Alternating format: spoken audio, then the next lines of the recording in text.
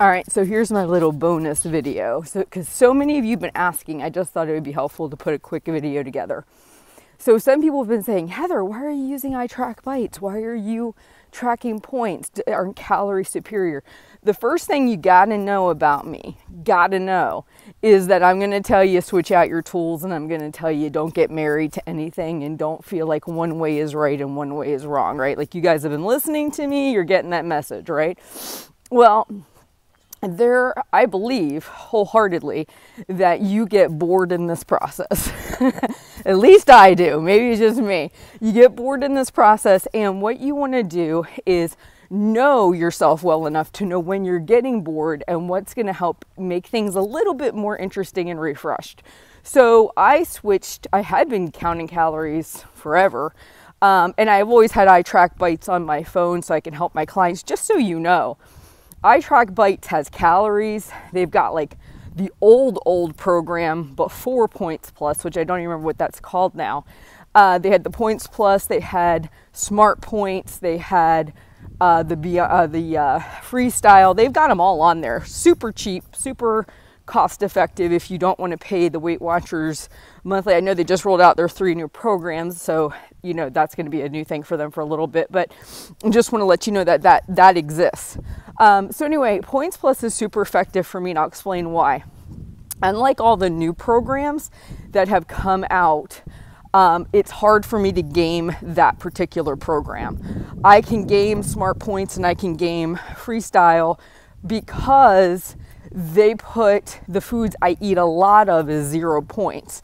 So while somebody might only be eating 900 calories on those programs, I can actually eat almost 2,000 plus because I eat a lot of the very low point or zero foods. So points plus is actually a more macro based, calorie based program. The reason I'm enjoying it, quite frankly, is because I'm kind of lazy feeling and I don't want to weigh and measure my vegetables. And so, what I do is uh, I know that I have double tracked for enough time to know I fall between 15 and roughly 1800 calories per day if I stay between the 26 and say 33 ish points a day, somewhere in that vicinity. So, kind of the window that I would need to shoot for anyway. So, in all fairness, right, I'm working, I'm using a program to track that I know falls within a certain calorie target because I've tested it. And it just makes my day to day life a little bit easier because I don't have to count and weigh the zucchini, butternut squash, things like that. I can kind of eyeball it, throw it in, and cook it and eat it. Will I stay with it forever? You might be watching this video a year later, and the answer might be no. I might be doing something totally different.